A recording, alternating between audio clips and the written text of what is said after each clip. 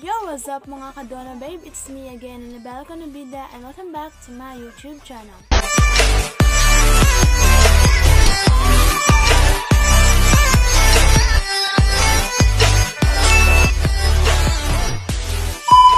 And for today's vlog guys, I'm gonna show you some of my okay okay haul and if you want to know more about this video, just keep on watching.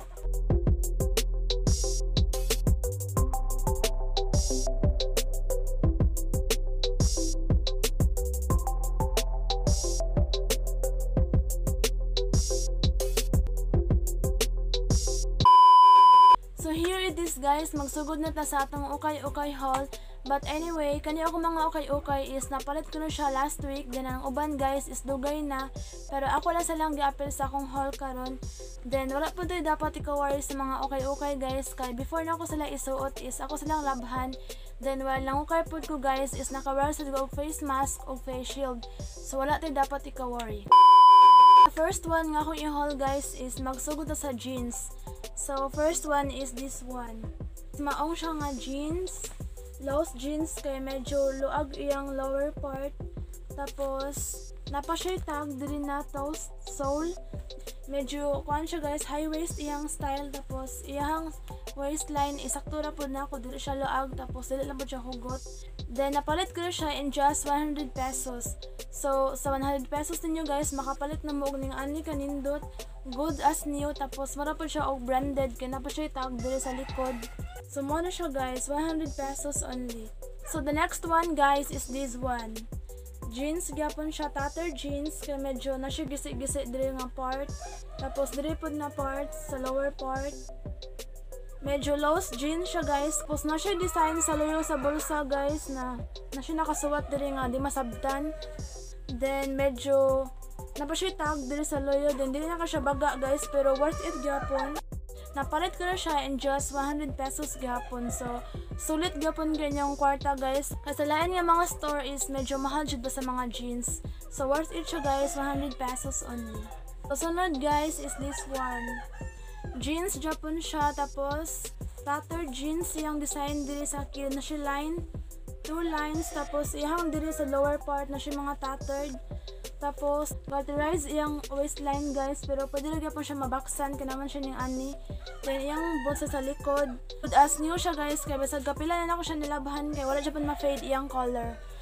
So, napalit ko na siya guys in just 100 pesos gapon. So, grabe gapon ka worth it guys, kay sa ning ani kanindot in just 100 pesos. Asa mo makapalit ana, di ba? So, mo siya guys. Lost jeans. So, sunod guys, jeans gapon siya. Mo na siya guys. Muna siya trouser. Iyang color is light brown. Tapos, lost jeans gapon siya guys. Kay luag iyang lower part. Tapos, iyang tela is comfy ra siya guys. Kay humok dili siya kuan hait isuot.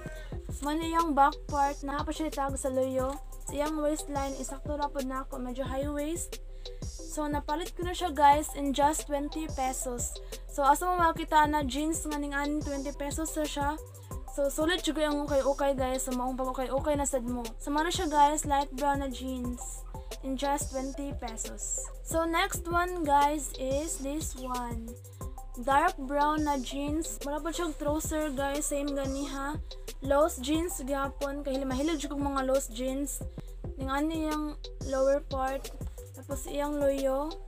Ano siya guys. Then, napa siya tag Japon dere. Then, iyang tag is Tokyo Yamamoto. Murag taga Japan ang tag iyan guys. Then, nice siya kay comfy na siya isuot kay dili siya kuan, dili siya hait og tela, medyo may pagka-cotton iyang tela tas comfy ra kay isuot guys. So napalit ko na siya in just 20 pesos. So kuan na sila guys kanang sa same man sila atong gipakita na ako pag ganiha. 20 pesos. So grabe ra ka barato guys makasave pa mo sa inyong, for example, na may 100, tapos makapalit na mo 5 ka book jeans, kung tag 20 ra, mga ning ani, grabe ka sulit inyong kwarta. So, sunod guys, is my favorite na jeans, kaya wala jud ko nga color nga jeans. So, mo na siya guys, a black jeans, medyo dako-dako iyang hawakan, pero kaya na po ni sa bakos.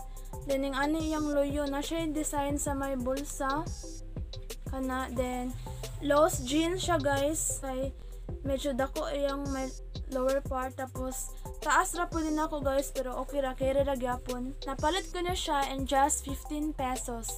So ning ana siya ka barato guys? 15 ra siya then ana na siya kanindot walay damage walay bisa gamay nga mga mancha or else mga mga gisi-gisi good as new good siya guys so 15 pesos rin siya So, mo ni a black jeans. So, sunod guys is the last jeans nga akong ipakita ninyo. So, mao ni siya. Black jeans gapon. Medyo, dili siya pwede mabaksan kay garterize iyang kuan waistline. So, kanili nga jeans guys is kang mama ni ako ning gipalit para niya. Then, wala siya kuan bulsa sa luyo. Wala siya bulsa sa luyo. Marag design plain ra iyang luyo na part. Then, kuan na siya guys, loose jeans kay medyo luag iyang lower part. Then, napalit ko na siya in just 15 pesos. So, kauban na sila atong black nga carsonis ganiha guys. So, 15 pesos rin. So, ang kanin duha is 30 pesos ra. So, grabe ka worth it sa inyong kwarta din. Makapalit na mong ning ani. Kanang makasave mo dyan mo guys. Sulit na sulit ang ukay-ukay. So, guys, since sumanada sa mga jeans, let's proceed to shorts. So, first shorts nga akong i-haul is this one. Maong na shorts guys na medyo tattered iyang diri lower part. Then high waist siya guys, high waist taga pusod na ko. Then muna iyang back part na pa siya tag diri sa loyo. Iyang tag kay vintage, vintage. Then medyo luag-luag siya sa may waistline guys pero carry na po siya sa kuan bakos. Then dili po ko siya ingon nga mubo pero kung mubo guys carry na sa kuan kaning cycling. So, mo siya guys. Napalit ko na siya in just 50 pesos. So, next one guys is this one. Medyo high waist kayo siya na ako guys. Then, iyang hawak isakto rasad. Pero, luag ang iyang may paahan na part. Medyo na siya mga, wala siya ikuan guys. Wala siya bulsa sa loyo. Tapos, ang gidesign kay mga star stars. Yung ano ra ang gidesign sa iyang bulsa. Then, sa atubangan sa na part na si mga stars. Kuan guys, napalit ko na siya in just 30 pesos. So actually guys, napalit ko na siya isama rang silingan. Barato na siya guys, kaninda mo sila mga shorts sa so, ni Gora lang ko. 30 pesos only. So sunod sa itong mga short guys is kani siya. A high waist shorts, a high waist tattered shorts. Medyo tattered siya guys, sana siya mga gisik-gisik dito sa paahan. Then, medyo dako iyang waistline guys pero okay ra pud ni kung baksan din medyo gamay iyang paahan oo kasabot dako og tiyan gamay og paa bitaw guys pero napalit ko na siya in just 50 pesos. Dugay-dugay na nga short guys. Na ba siya design diri sa likod. Iyang design kay 67 na number din na yung mga suot-suot diri ah. Then good as new siya guys. Grabe kanindot pwede siya pang rampahan guys na shorts. So, sunod nga short guys is this one. Dili siya tattered, dili po siya maong na shorts. So, iyang tela is cotton. Kanang comfy ra siya isuot kay humok ra siya isuot din. Wala siya ko kasabot siyang color guys. Fuchsia pink, purple, or kuan, pink. Mas wala ko kasabot siyang color. Mas maano siya guys. Medyo sexy kaayo. Pero carry ra po siya sa cycling. Then, napa siya kuan, tag ari sa luyo. Muna yung tag. Then, iyang hawakan is medyo luwag-luwag siya gamay, pero okay ra po baksan. So, napalit ko na siya guys in just 70 pesos. So, okay ra po siya guys. Medyo mahal-mahal siya gamay. 70 tapos shorts. Kay, nice po siya og quality guys. Wala damage. Good as new. So, ano siya guys. So, since sumanada sa mga shorts na mubo, so let's proceed sa mga shorts na above the knee. So, first one is this one. Um, di na siya maong na short guys. Mar humukon na siya nga shorts, cotton iyang tela. So, medyo pilo-pilo iyang lower part. Then, ganahan lang ko sa iyang color guys. Kaya mara siya koan, light brown. Mara siya trouser. Na siya tag sa luyo guys na L. L. Yes, mo siya branded siya nga short guys pero kuan lang siya okay okay lang siya pero kung dili pa ni okay okay murag mahal jud nga short guys. So dili ni pang boy scout na shorts. so napalit ko na siya in just 15 pesos. So grabe ka worth it sa 15 guys ani nga na shorts. Pwede na pang outfit nga basta kung sa nga mga outfit para sa mga shoes or anything crocs na kuan pang lower. So, ano siya guys. So, sunod is kanya siya. Maong siya na above the knee na shorts. Tapos, ganahan ko sa iyang tela guys. Kay, kuan ka siya maong. Baga siya nga pag maong. Then, wala siya yung zipper. Pero ang, nasi kuan 4 buttons. Tara yung ikaapat na buttons. Tapos kung mura ni ang gamit guys kung magsirado, dili siya kuan, dili siya zipper. So mao na siya, shorts na maong medyo high waist siya guys, ganahan ko kay high waist. And then napalit ko na siya in just 15 pesos. So same din sila ani guys, 15 murag kauban silang duha. Then napa siya tag sa loyo na love love. So mao na siya guys, 15 pesos only. Then sa manada sa mga short guys, let's proceed to jacket. So this one, mura siya, sweater siya guys. Ah, wait lang. So sweater siya guys. Dako ka siya nga sweater. Dili ka siya ang akong bukton diri guys. Medyo taas ra siya. Tapos ang pikas po din. Na siya hood. Hoodie siya na sweater.